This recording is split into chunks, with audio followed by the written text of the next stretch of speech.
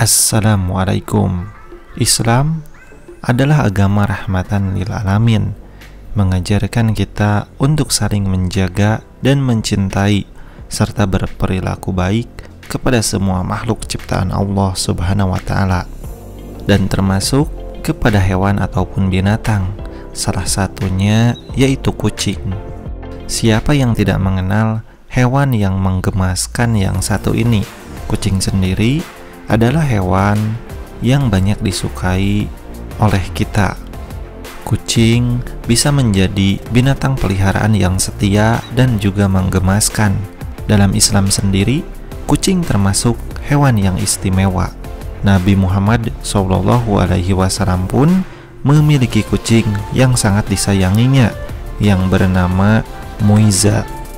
Tidak jarang, saking cintanya manusia pada kucing, hewan yang satu ini juga akan hidup dan tidur bersama kita.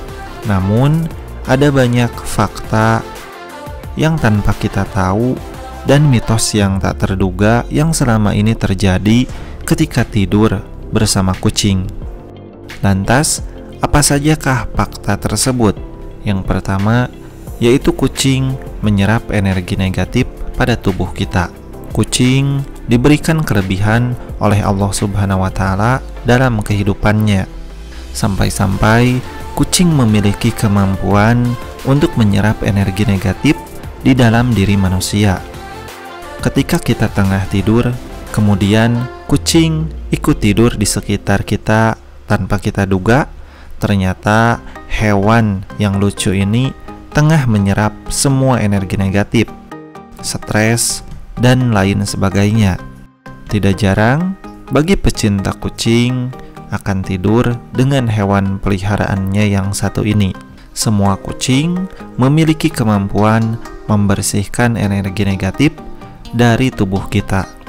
Selama kita tidur pun, kucing akan menyerap energi negatif di dalam tubuh kita.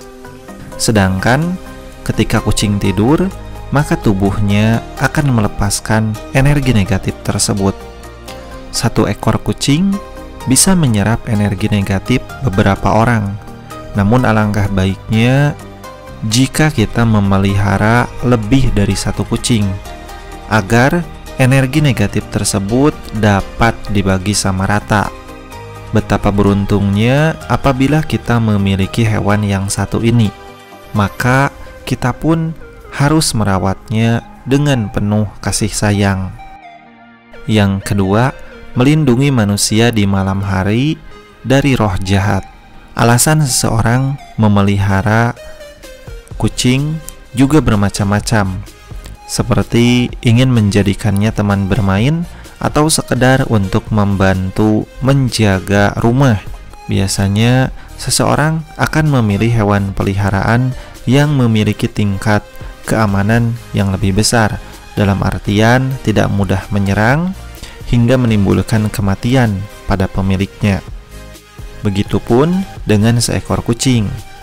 Di dalam dunia spiritual, kucing mendapatkan keistimewaan untuk melindungi pemiliknya dari roh yang jahat.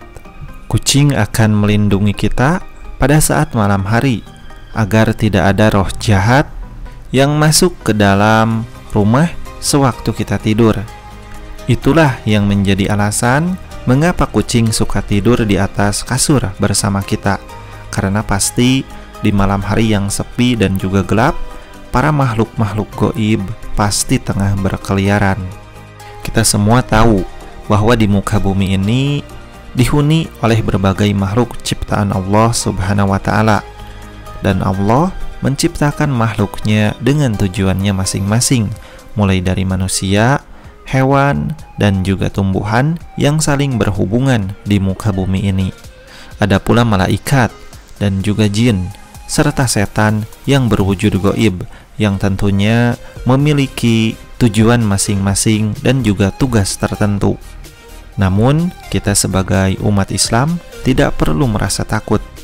Lebih baik kita pasrahkan semuanya pada Allah Subhanahu wa taala serta tetap berdoa dengan penuh keyakinan kepada Allah Subhanahu wa taala. 3. melindungi kita dari karma atau hutang di masa lalu. Kucing selalu datang pada kita dengan cara tiba-tiba, tanpa kita duga. Hewan yang lucu dan menggemaskan yang satu ini pun akan hadir melalui mimpi dan juga menjadi pertanda pada hal-hal yang terkadang telah kita lupa. Secara ilmiah, kucing dan banyak hewan lainnya lebih sensitif daripada manusia terhadap suara, bau, dan juga perubahan tekanan atmosfer. Indra mereka yang meningkat memungkinkan mereka menangkap akan petunjuk hal-hal tertentu. Dalam Islam sendiri, ketika kucing mendekati kita, maka menjadi pertanda bahwa sang pemilik mungkin kurang dalam menyedekahkan hartanya. Jika didekati kucing, bisa diartikan itu adalah pertanda dari Allah yang mengingatkan kita tentang hakikat untuk memberi. Karena semua rezeki yang kita dapatkan bukanlah sepenuhnya hak kita saja, melainkan ada hak-hak orang lain yang harusnya kita keluarkan, seperti misalnya zakat fitrah, zakat harta, dan juga sedekah. Keempat, merasakan ancaman hal buruk dari luar. Seperti sudah kita sebutkan sebelumnya, bahwa kucing adalah seekor hewan yang sensitif yang bisa merasakan ancaman yang datang dari luar kepada kita. Jika ada seseorang yang sedang berkunjung atau bertamu, kucing dapat merasakan energi negatif di sekelilingnya. Jika tamu tersebut dinilai sebagai ancaman, maka kucing tersebut akan terus mengelilingi kita jika melihat tingkah kucing seperti itu, hendaknya kita lebih waspada. Namun sebaliknya, apabila kucing mendekati tamu dan melihat sikap manjanya, maka itu pertanda bahwa kita masih aman-aman saja.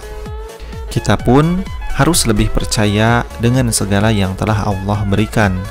Bukannya kita mengabaikan kucing yang memiliki banyak kemampuan, namun jangan sampai kepercayaan kita pada apa yang kucing berikan membuat kita lupa bahwa sang pencipta memiliki kemampuan yang lebih besar. Itu dia teman-teman, apa yang kucing lakukan ketika kita sedang tidur. Tentunya banyak sekali manfaat yang bisa kita dapatkan hanya dari seekor kucing. Semoga informasi ini bisa bermanfaat untuk kita semua. Terima kasih sudah menonton. Wassalamualaikum warahmatullahi wabarakatuh.